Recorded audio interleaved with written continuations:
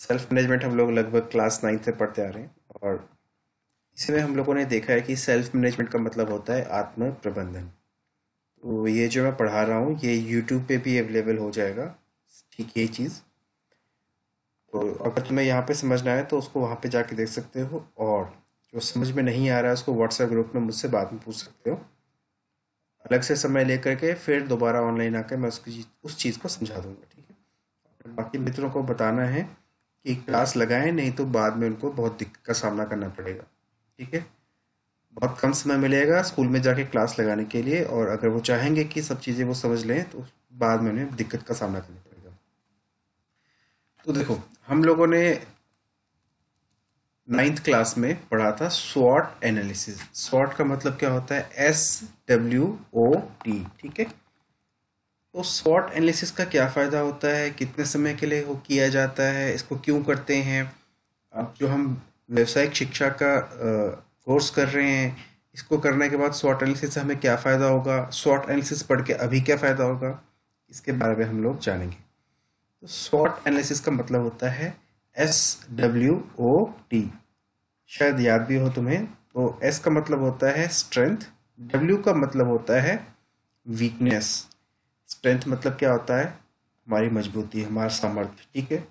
जिस चीज़ में हम पक्के हैं, उसे हम स्ट्रेंथ कहेंगे। वीकनेस मतलब कि हमारी कमज़ोरी।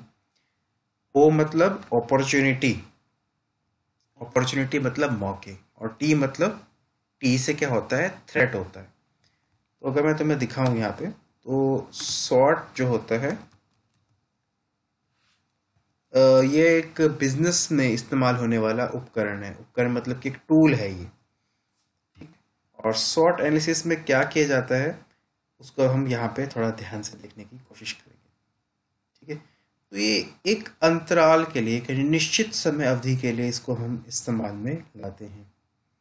ठीक है? तो वो निश्चित समय अवधि क्या हो सकती है? वो तीन महीना भी हो सकती है, वो साल भी हो सकती है, पाँच साल भी हो सकती है।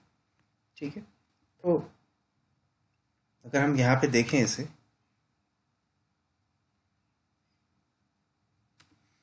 तो शॉर्ट एनालिसिस में हमें क्या क्या करना है, ये देखते हैं।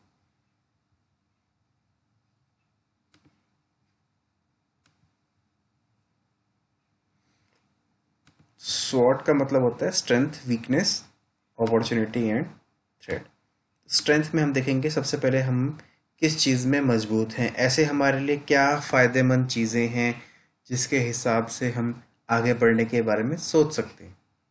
ठीक है ना?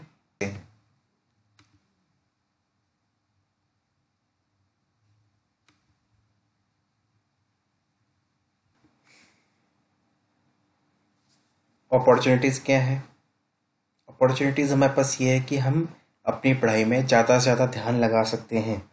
जब तक कि कोविड नाइन्टीन का लॉकडाउन का पीरियड चल रहा है, अपने घर के सुरक्षित वातावरण में हम अपने ध्यान को ज़्यादा से ज़्यादा अपनी पढ़ाई में लगा सकते हैं।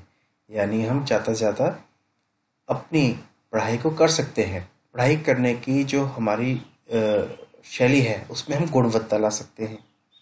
ठीक है? जो हमारा पढ़ने का जो हमारा काम है, उसमें हम गुणवत्ता ला सकते हैं, यानी बेहतर तरीके से पढ़ सकते हैं। अब इसमें देखेंगे कि थ्रेट क्या हो जाएगा हमारा। थ्रेट ये हो जाएगा कि अब हम पढ़ना ही छोड़ दें। जैसे कि बहुत सारे बच्चों ने कर लिया है। इस कोविड नाइन्टीन के लॉकडाउन के पीरियड में बहुत सारे बच्चों ने पढ़ना ही छोड़ दिया है। ठीक है? तो ये स्वॉट एनालिसिस है। अब जब भी हम अपना ऑप्टिकल फाइबर टेक्नीशियन का कोर्स पूरा करके नौकरी में जाएँगे तो हम देखेंगे कि या किसी भी टाइप का अपना कोर्स पूरा करके चाहे वो सिक्योरिटी का हो, चाहे हेल्थ केयर का हो, या आईटीएस का हो, ये कोर्स पूरा करके जब भी हम अपनी नौकरी में जाएँगे और अपना छोटा सा बिज़नेस चालू करेंगे या हम खुद उद्यमी बन के एंटरप्रेन्योर बन के अपना कुछ बिज़नेस चालू करेंगे तो हमें इन बातों को मद्देनज़र रखते हुए ही हर कदम उठाना पड़ेगा। ठीक है कि हमारा क्या स्ट्रेंथ है, क्या वीकनेस है, क्या अपॉर्चुनिटी है और क्या थ्रेट है। तो ये दिए गए निश्चित समय के लिए ही होता है। और उस समय के बाद, उस निश्चित अवधि के बाद, मान लो, अभी हमारे पास क्या है, दस महीने बचे हैं पेपर के लिए। तो दस महीने के बाद फिर हम करेंगे। या हमारे मिड टर्म के लिए मान लो चार ही महीने बचे हैं। तो उस चार महीने के बाद हम लोग क्या करेंगे? अपने आप को फिर से शॉर्ट एनालिसिस में उतारेंगे। फिर से हम शॉर्ट एनालिसिस करेंगे। ठीक है? और जो छः महीने पहले के हमारे स्ट्रेंथ वीकनेस अपॉर्चुनिटी और थ्रेट यानी कि हमारी क्षमताएँ, हमारी शक्तियाँ, हमारी कमज़ोरी, हमारे मौके और हमारे जो थ्रेट है, हमारे जो खतरा है, उसको हम कंपेयर करेंगे। मान लो छः महीने पहले मैंने स्वॉट एनालिसिस किया था और आज मैंने फिर से स्वॉट एनालिसिस किया है, ठीक है? और ये शॉर्ट एनालिसिस करने के बाद अब जब मैं छः महीने पहले के और आज के शॉर्ट एनालिसिस को कंपेयर करूँगा तो मैं देख पाऊँगा कि मैं पिछले छः महीने से आज की मौजूदा स्थिति से, स्थिति में कितना आगे बढ़ के आगे आ चुका हूँ। अगर तो मेरे पास स्ट्रेंथ बड़ी है छः महीने पहले मेरे पास कम स्ट्रेंथ थी, आज मेरे पास ज़्यादा स्ट्रेंथ है। मैं समझूँगा कि हाँ मैंने कुछ तरक्की की है।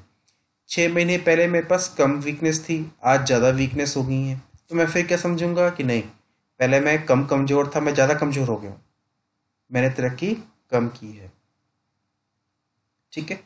छः महीने पहले मेरे पास कम अपॉर्चुनिटी थी। छः महीने बाद आज मेरे पास ज़्यादा अपॉर्चुनिटी है। ठीक है?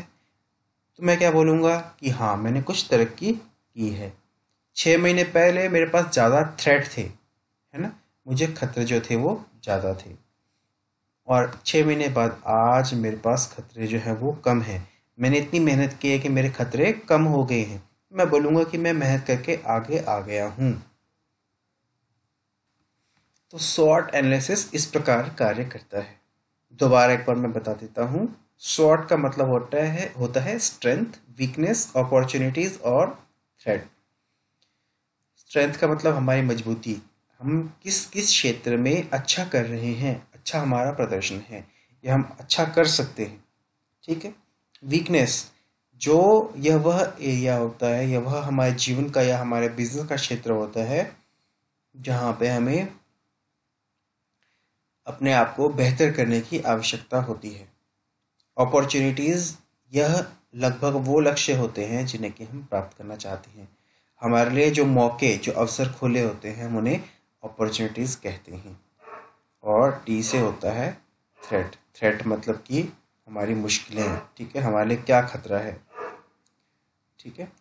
तो इस बात को ध्यान में रखते हुए हम आगे की प्लानिंग भी करते हैं, ठीक है? अब मान लो मैं आगे की प्लानिंग करना चाहता हूँ। मुझे अपने बारे में पता नहीं है, मैंने शॉर्ट एनालिसिस किया नहीं है तो क्या मैं आगे की प्लानिंग में सक्सेसफुल हो जाऊँगा? अगर मैंने शॉर्ट एनालिसिस करके आत्म जागरूकता नहीं फैलाई है तो मैं कितनी ही अच्छी प्लानिंग कर लूँ?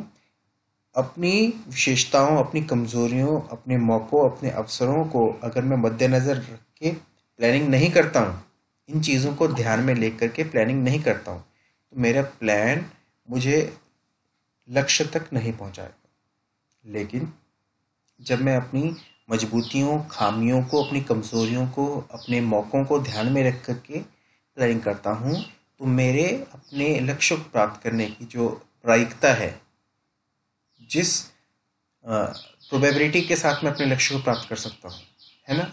जो मेरे प्राप्त करने के जो प्रतिशत है वो बढ़ जाएगा। ठीक है? तो ये हो गया शॉर्ट एनालिसिस अब आप लोगों का कार्य क्या है आज का कि आप लोगों ने अपने मौजूदा स्थिति का शॉर्ट एनालिसिस करना है। आज की तारीख आपने कागज़ पे सबसे ऊपर आज की तारीख को लिखना है। उसके बाद आपने अपनी स्ट्रेंथ को लिखना है, अपनी वीकनेस को लिखना है, ठीक है? एस लिख देंगे स्ट्रेंथ और स्ट्रेंथ लिख देनी आपने। आज की जो आपको लगती है कि अच्छा मेरे पास ये ये स्ट्रेंथ है। जब आपकी स्ट्रेंथ पूरी हो जाएँगी, आपने लिखना है डब्ल्यू बड़ा सा वीकनेस अपने जीवन की, आज की मौजूद वीकनेसेस को आपने उसमें लिख देना है। अगले पन्ने पे जाना है आपने। उसी पन्ने को पलटना है। ओ से अपॉर्चुनिटीज़ लिखना है। अपने जीवन में आपको जो लक्ष्य हैं, जो आप पाना चाहते हैं, जो आपके पास मौका है, अवसर है, उसको अपने लिख देना है। छह महीने में। छः महीने में आप कहाँ होना चाहते हैं, आप उसको लिख दीजिए अपॉर्चुनिटीज़ को लिख दीजिए। जब ये ख़त्म हो जाएगा तो टी से थ्रेट लिख दीजिए। थ्रेट लिखने के बाद जो आपको लगता है कि आपको रुकावट बनेंगी, आपके आने वाले पथ का रोड़ा बनेंगी, उसको आप लिख दीजिए।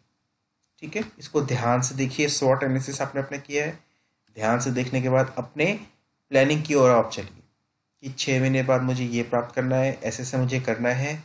ये मेरा शॉर्ट एनालिसिस है, ये मेरी खामियाँ हैं, मजबूतियाँ हैं, यहाँ जा सकता हूँ, ये मेरे रोड़े हैं रास्ते के। इनको पार करके मुझे किस प्रकार आगे बढ़ना है? ठीक है जी?